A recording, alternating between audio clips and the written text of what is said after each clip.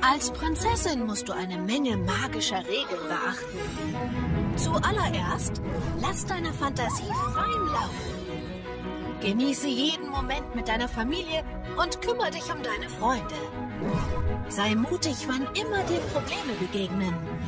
Erlebe viele Abenteuer und lerne daraus, damit du jeden Tag ein bisschen besser wirst. Im Mai kannst du dich auf magische Geschichten freuen mit Sophia die Erste, Elena von Avalor und all ihren Freunden. Wer auch immer du bist und woher du auch kommst, du wirst dich wie eine Prinzessin fühlen. Sonntag ab 11 Uhr auf Disney Junior.